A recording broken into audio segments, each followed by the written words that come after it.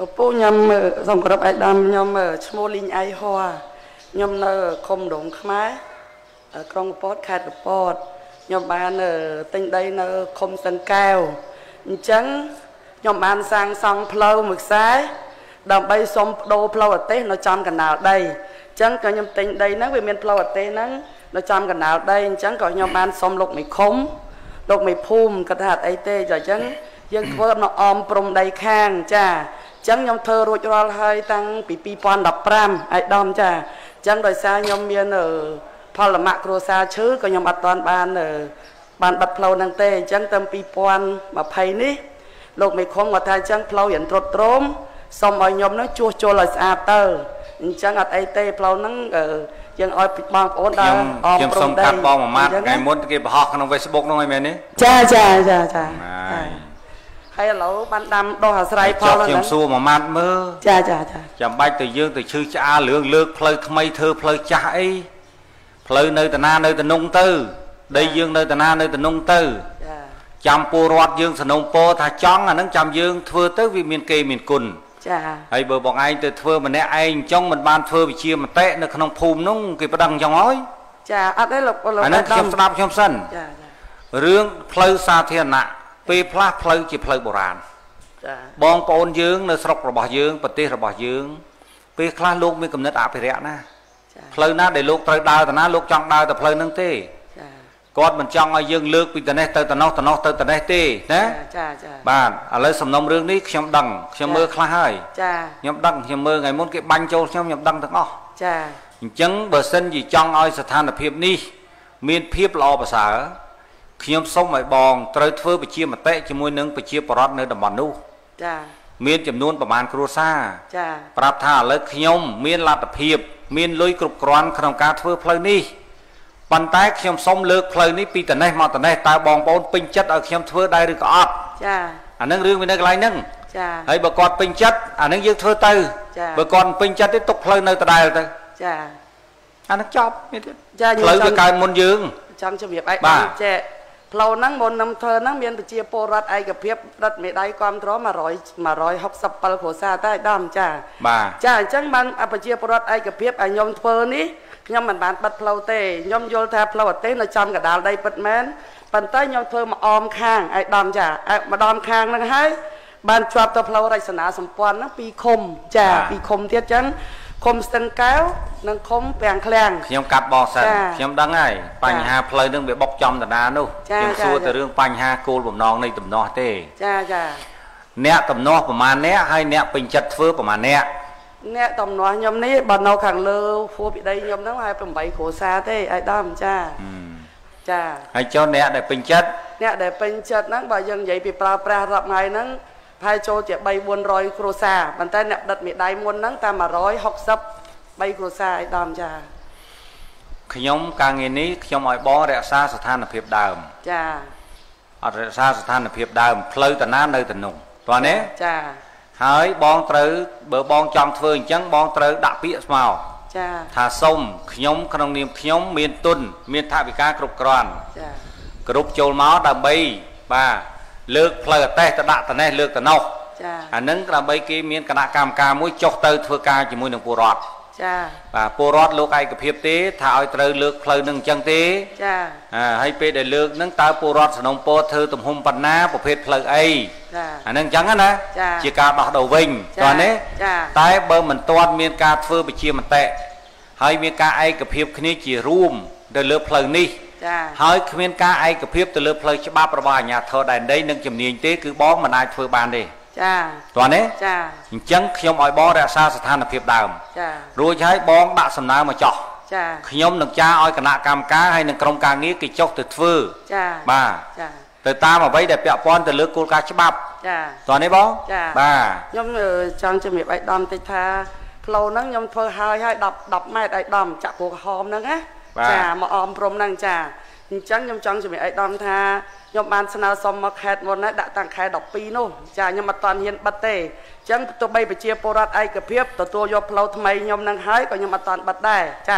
ខ្ញុំស្នើសុំអាបាខេត្តសិនហើយខ្ញុំដាក់មកតាំងពីខែ12ចុះហេតុអីក៏មានចំនួនកើតឡើងមានចំនួនកើតឡើងហ្នឹងអញ្ចឹងបានថាដោយសារថាអឺ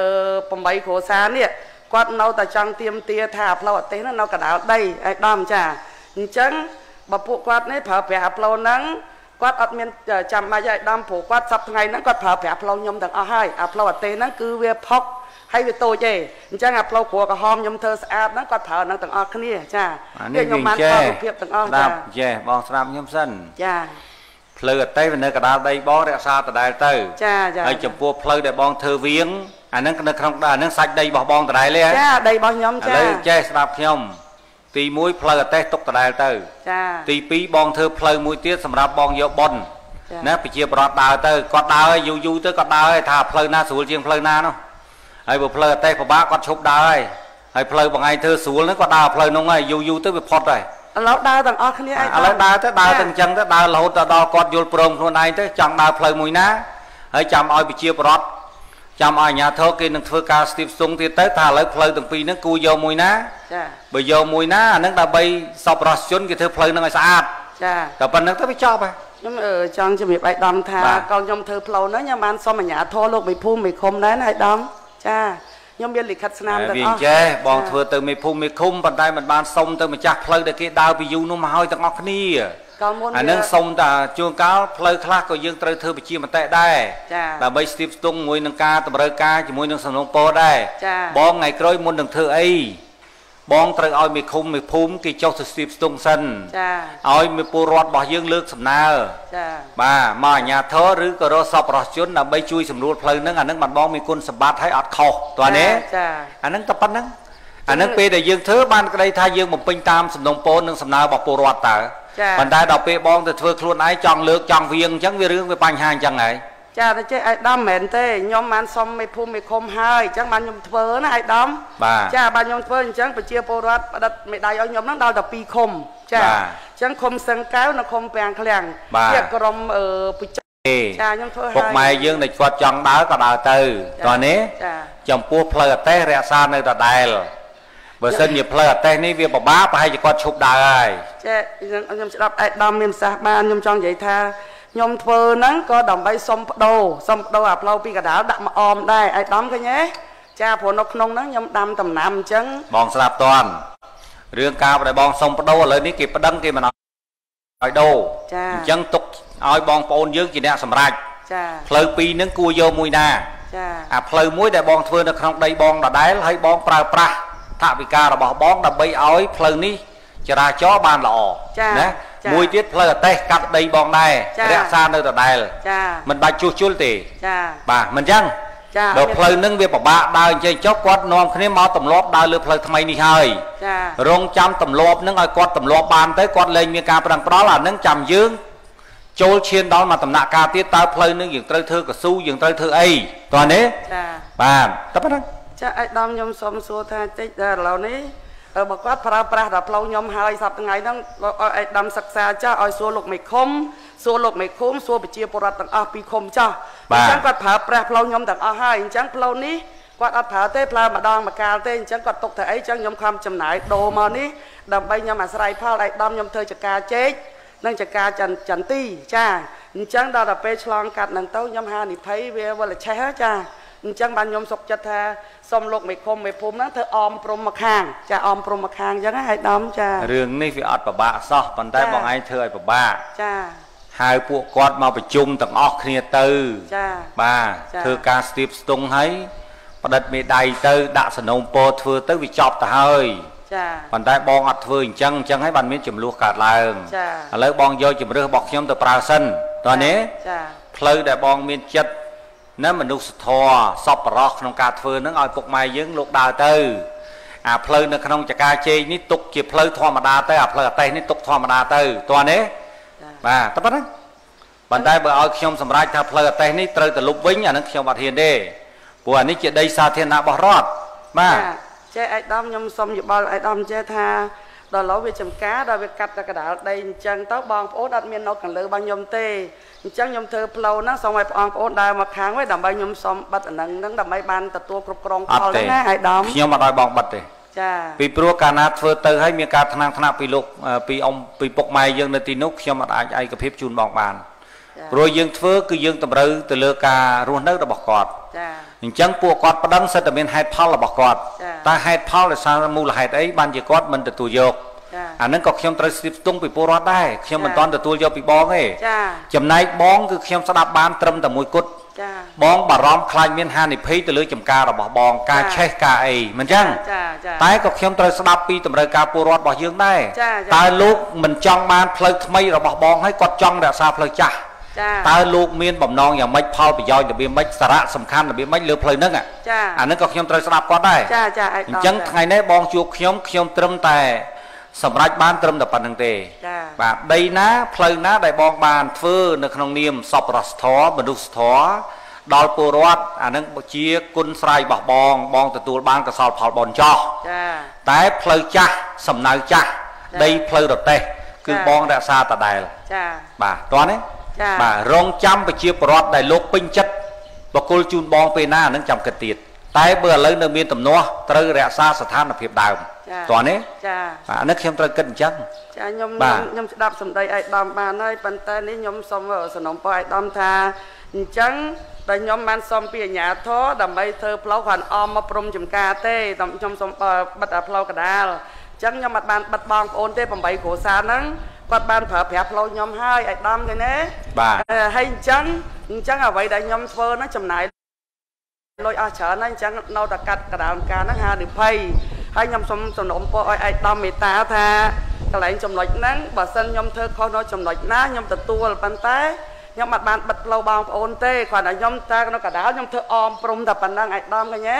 ហើយអញ្ចឹងខ្ញុំនៅហានិភ័យដដែលឯកឧត្តមផ្លូវកដាលផងផ្លូវខាងផងអញ្ចឹងនិយាយចឹងឯកឧត្តមណាចារឿងនេះខ្ញុំគិតថាអញ្ចេះចាខ្ញុំគិតថាបើសិនជាបងមិនបានបិទពាក្យប្តឹងផ្ដាល់ពាក្យចំនួន គឺវាអត់មានតទៅទៀតទេគឺវានៅក្នុងស្ថានភាពដើមដដែលតោះនេះអញ្ចឹងបងមិនបាច់បារម្ភទេអញ្ចឹងបើបងមិនបិទវាជារឿងមួយល្អហើយតោះនេះប៉ុន្តែបើអ្វីដែលជាការសេចក្តីបំណងរបស់បងហើយនឹងការចូលរួមរបស់បងចាបាទខ្ញុំជឿថាអំពើល្អរបស់បងពលរដ្ឋនឹងទទួលយកបាននៅពេលខាងមុខចាតោះនេះអញ្ចឹងបងទៅយើងនាំគ្នាចូលរួមអញ្ចឹងសិនទៅ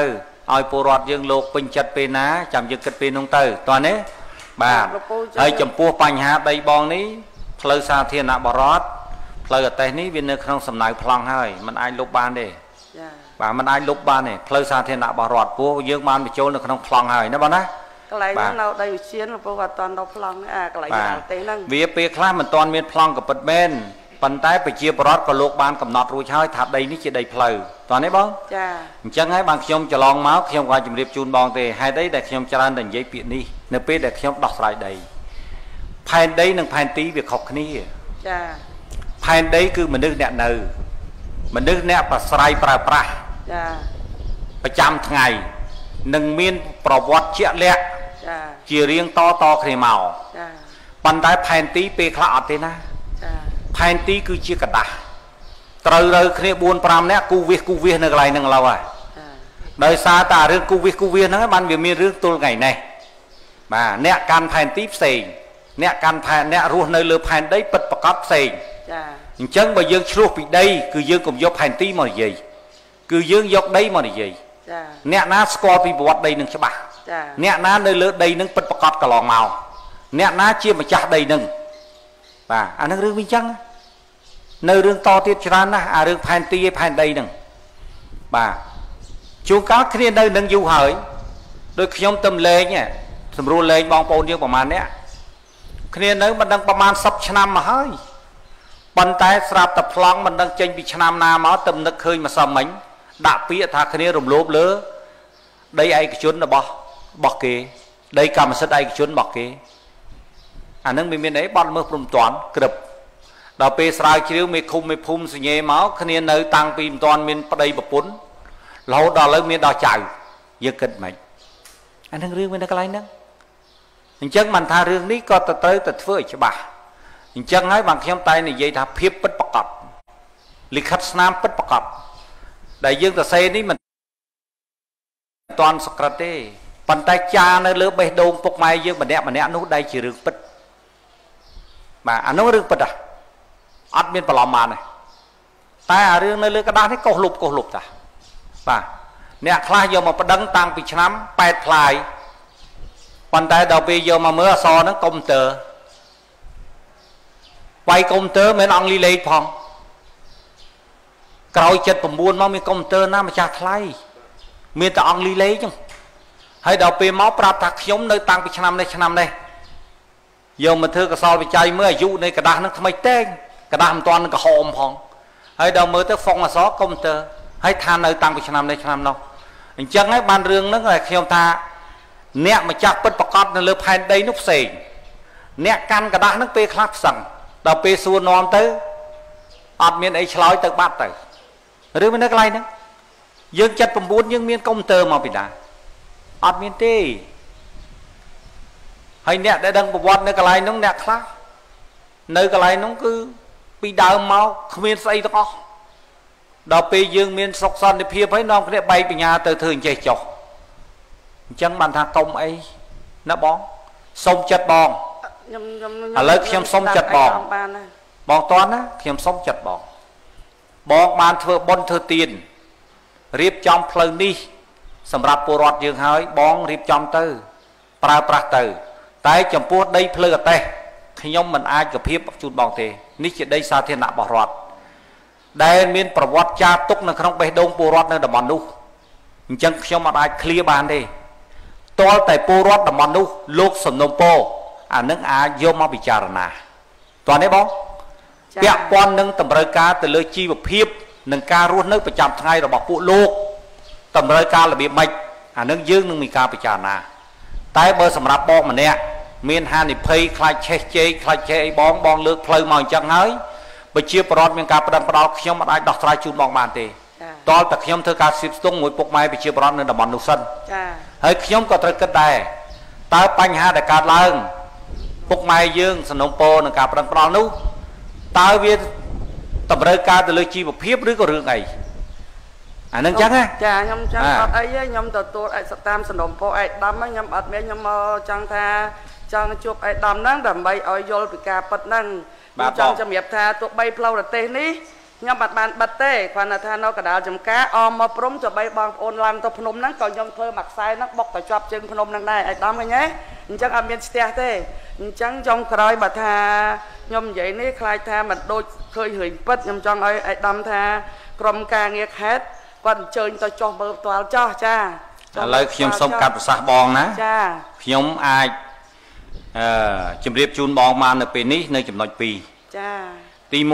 1ដីផ្លូវដែលបងបានធ្វើដីផ្លូវនេះនៅលើដីរបស់បងចាបងធ្វើចោះទី2ដីផ្លូវអតេះដែលមានចំនួនជាមួយនឹងពុកម៉ែប្រជាប្រដ្ឋនៅតំបន់នោះគឺសុំរក្សានៅដដែលអត់ឲ្យបាត់ទេផ្លូវអតេះហ្នឹងតោះនេះតែពីរហ្នឹង ចាអញ្ចឹងខ្ញុំសូមជំរាបឯកឧត្តមថាចុះដល់ផ្លូវខ្ញុំធ្វើឲ្យនៅលើដីខ្ញុំអញ្ចឹងទុកអានឹងហងទុកអានេះហងអញ្ចឹងឯកឧត្តមចាទុកទាំងពីរអញ្ចឹងបងធ្វើឲ្យបងបានប៉ុនហើយប្រជាបរដ្ឋសាទរមួយចំនួនហើយបងទៅទៅអីទៀតទុកចុងទៅអញ្ចឹងខ្ញុំចង់ជំរាបឯកឧត្តមថាអឺផ្លូវនេះខ្ញុំធ្វើខាងនេះហងអានេះវាវាពេញផ្លូវចឹងដើរកដាលហងដើរខាងហងអញ្ចឹងវាពេញទាំងអស់ណាលោកអៃដាមបងនេះបងមើលទៅអានឹងឲ្យពលរដ្ឋយើងថ្លឹងថ្លែងទៅតិចទៀតគាត់យល់ថាអ្វីដែលត្រូវគាត់ទទួលយកមួយដែរបាទទុកពេលវេលាឲ្យគាត់ពិចារណាវិញ ចាឥឡូវផ្លូវដែលបងធ្វើហ្នឹងវាស្រួលជាងអាផ្លូវចាស់ឬក៏វាពិបាកជាងផ្លូវចាស់ពេលហ្នឹងគាត់ជាអ្នកសម្រេចដែរមិនចឹងឡូវវាផ្លូវហ្នឹងស្រួលទេធំចាំបាច់ខ្ញុំថាចង់ឲ្យសុំថាខាងក្រុមការងារហ្នឹងឯកឧត្តមចាមេតាជួយចុះពិនិត្យផ្ទាល់ហងចាហើយអាផ្លូវអតេហ្នឹងតែ1000ម៉ែត្រហ្នឹងគឺនៅចំណុចកដាលទេអញ្ចឹងផ្លូវអមទាំងអស់អត់មានស្ទះផ្លូវទេឯដំម្ដងដូចខ្ញុំសុំបដូរអញ្ចឹងឯដំសុំបដូរពីកដាលដីមកខាងព្រំតែប៉ុណ្្នឹងឯងចាខ្ញុំយល់ អញ្ចឹងអត់អីទេឥឡូវចាំមើលខ្ញុំពិនិត្យលទ្ធភាពជាមួយនឹងសំណុំពពុកម៉ែនៅតំបន់នោះសិនតើលោកពេញចិត្តរបៀបម៉េចចាតើលោកពេញចិត្តឲ្យដូរឬក៏ពោពេញចិត្តមិនឲ្យដូរណាបងណាគឺខ្ញុំតម្រូវការពុកម៉ែនៅតំបន់នោះជាធំចាចាអីដំអញ្ចឹងមិនណាចាបើគាត់នេះខ្ញុំសូមមកបដូរពីកដាលដីមកខាងបើសិនជាគាត់ថាចង់ដើរកដាលដីវិញខ្ញុំទុកឲ្យវិញអញ្ចឹងមានតែខ្ញុំសុំ សុំយកអាផ្លូវខ្ញុំធ្វើឲ្យវិញបើសិនជាហោអញ្ចឹងណាឯកដំក៏ប៉ុន្តែអត់ទេឯកដំឲ្យផ្លូវខ្ញុំធ្វើហ្នឹងគឺពីរឃុំប្រើប្រាស់ហ្មងបាទអត់អីទេបងព្រោះអាហ្នឹងវាពលរដ្ឋយើងលោកនឹងមានសុភវិនិច្ឆ័យហើយថាតើលោកតម្រូវការមួយណាហើយណាចាអញ្ចឹងខ្ញុំក៏ជម្រាបជូនបងអញ្ចឹងផ្លូវអតេះក៏ទុកផ្លូវបងដែលបងធ្វើហ្នឹងក៏ជាកសលផលបុណ្យរបស់បងទុកឲ្យពលរដ្ឋប្រើដែរទៅចាបាទហើយ ចំពោះផ្លូវទាំងពីរនេះទុកឲ្យពលរដ្ឋជាអ្នកសម្រេចថាគួរជ្រើសរើសយកផ្លូវណាទៅថ្ងៃមុខតែប៉ុណ្្នឹងបានអញ្ចឹងខ្ញុំសូមសំណូមពរឲ្យដំប៉ុណ្ណឹងខ្ញុំជួយឲ្យរយុទ្ធធម៌ខ្ញុំប៉ុណ្ណឹងទេអញ្ចឹងបើប្រជាពលរដ្ឋពីរឃុំគាត់ឯកភាពទទួលផ្លូវខ្ញុំហើយអញ្ចឹង បងប្អូន8គ្រួសារនេះគាត់ប្រើប្រាស់របស់ខ្ញុំដែរអញ្ចឹងគាត់ចង់មកចំខាងផ្លូវអតេតបាទនឹងຕົកទៅអីអញ្ចឹងឯដំអានឹងខ្ញុំជម្រាបបងឲ្យតើខ្ញុំថាខ្ញុំរងចាំទទួលបាននឹងទទួលយកនៅសំណុំពរចានឹងការយល់ព្រមពីពុកម៉ែតំបន់នោះ តោះនេះចាចាបាទចំពោះសំណុំពរបងអានឹងជារឿងមួយក្រោយទេណាបាទអញ្ចឹងអរគុណបង បានហើយណាខ្ញុំសំបានសម្ដីប៉ុណ្ណឹងហើយចង់ដល់ព័ត៌មានឲ្យឯកឧត្តមដឹងប៉ុណ្ណឹងណាបាទអរគុណបងខ្ញុំយល់ហើយដីនឹងខ្ញុំបានមើលមួយចំនួនហើយហើយក៏ខ្ញុំបានទទួលទូរស័ព្ទពីពុកម៉ែយើងមួយចំនួនដែរណាចាអញ្ចឹងខ្ញុំជម្រាបជូនបងជាបឋមប៉ុណ្្នឹងសិនណាបាទអរគុណបងអស់ហើយនៅអស់ហើយណាមិនទៅរឿងអីនោះចាជំរាបសួរលោកឯកឧត្តមអឺ ខ្ញុំមានដំណោះរឿងផ្លូវចូលផ្ទះនៅណានៅភូមិជុំគ្រាលឃុំជុំគ្រាលរវាងប្រជាពលរដ្ឋនិងអ្នកណារវាងប្រជាពលរដ្ឋនិងខ្ញុំគាត់ជាជនជាតិអាល្លឺម៉ង់និងយកប្រពន្ធជាជនជាតិខ្មែរតែតែគាត់ធ្វើសកម្មភាពជារៀងរហូតអ្នកណាអ្នកធ្វើខ្មែរឬក៏ជនជាតិគេ ជនជាតិអាល្លឺម៉ង់ហ្នឹងអ្នកធ្វើប្រពន្ធអ្នកឈរមើលអញ្ចឹងចាចាយ៉ាងម៉េចគាត់យកដីផ្លូវចាយកដីផ្លូវផ្លូវហ្នឹងផ្លូវខ្ញុំនៅតាំងពី79មករហូតអញ្ចេះឥឡូវដីនោះមានប្លង់ទេមានប្លង់តែប្លង់ដាក់អឺមានផ្លូវអញ្ចឹងប៉ុន្តែគាត់នៅតែបាត់ហើយគាត់បាត់យកទាំងអស់មើលដីខ្ញុំនៅ ផ្លូវចាស់នៅខាងលិចតែគាត់ទិញដីល្មងចេះបិទផ្លូវដែរចប់ចាហើយផ្លូវគាត់គាត់ទិញដីគេថែម4ម៉ែត្រដល់ពេលគាត់យកគាត់យកទាំងអស់គាត់អត់ទុកផ្លូវចាស់ឲ្យខ្ញុំចូលផ្ទះជនជាតិអីជនជាតិល្មងចាជនជាតិអាល្លឺម៉ង់ឥឡូវចេះស្ដាប់បងស្ដាប់បងសិនចាអឺដាក់ពាក្យខ្ញុំនឹងឲ្យខាងជំនាញហើយនឹងខាងភូមិឃុំគេយកប្លង់ទៅចុចបាញ់ថ្នាំផ្លូវត្រឹមណាឲ្យនាំគ្នាលើកលបងទៅទំនុកចាហើយបិទផ្លូវរត់បើកវិញចប់ហើយ ចាអត់មានចូលផ្ទះទេរាល់ថ្ងៃអត់មានទេហ៎ចាតើដើរបងឲ្យគេចាត់ចែងឲ្យងាយខ្ញុំសុំគេជ្រៀតហ្នឹងដើរប្រហែល8តឹងគាត់ទៅបិទដល់ហ្នឹងទៀតឥឡូវបងឲ្យគេចាត់ចែងឲ្យតសេចាចាណាបងចាងាយណាចាអរគុណអស់ហើយណាចាចាអស់ហើយចាលោកជួយខ្ញុំផងបាទជួយជួយបងតោះបងដាក់ទៅខ្ញុំឲ្យគេមកកាចាហើយ នៅតែពីរអ្នកម៉ែកូនម៉ែចាស់អាយុ89ហើយហើយខ្ញុំមិនម៉ែជីវិតតែប៉ុណ្្នឹងជឿបងទៅណាជីវិតវាតែប៉ុណ្្នឹងណាសំខាន់យើងចេះប្រើប្រាស់ជីវិតឲ្យល្អយូរហើយឲ្យតែបានជួបឥឡូវសូមជួយខ្ញុំផងចាំបងជួយតសេតសេចាំបងគេចាត់ចែងឲ្យណាល្ងាចបងចាត់ចែងណាបងទេទៅគេណាតោះបានអញ្ចឹងចាអរគុណច្រើនក្រុមហ៊ុនមិនទៅបងថាដាច់បាយដាច់បាយហ្នឹងអត់ចូលថ្ងៃដោះផងអាហ្នឹងក៏សួរទេណា បើដោះប្រហែលជាតឹងតែងជាងនឹងអាដាច់បាយហើយម៉ោង4នេះណោះជាទម្លាប់បងថ្ងៃនេះមើលមានក្រុមហ៊ុនប្រមាណបងអូនខាងនេះមកមកក្រុមហ៊ុនដែរអាមកក្រុមហ៊ុនទេតែមួយហ៎ខាងនេះមកក្រុមហ៊ុន3ហ៎អត់តែមកក្រុមហ៊ុនទេណាអាខាងនេះមានបងអូនខាងនេះហើយនឹងបាទបាទខាងនោះខាងនោះផ្នែកអីបាទ ក្រុមហ៊ុនដែរហ្នឹងហើយថ្ងៃនេះក្រុមហ៊ុនទាំងអស់បានយកអីមកខ្លះធនណាមានធ្វើលិខិតសរសើរនៅអញ្ចឹងតោះមកបងចែកជូនគាត់ទៅហើយរើកអីខាងមុខចេញឲ្យឆ្លាស់បន្តិចទៅបងរៀបចំបន្តិចបាទ